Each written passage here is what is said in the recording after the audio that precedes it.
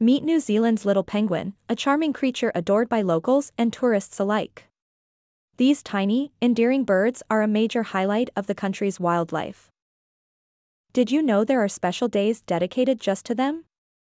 Yes, Penguin Awareness Day and World Penguin Day celebrate their existence and spread awareness about their conservation. Not only that, but these birds also hold a mystical place in Maori folklore.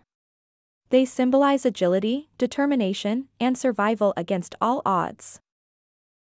So, the next time you visit New Zealand, make sure you pay a visit to these fascinating creatures. Remember, every day is special when you're with the little penguin.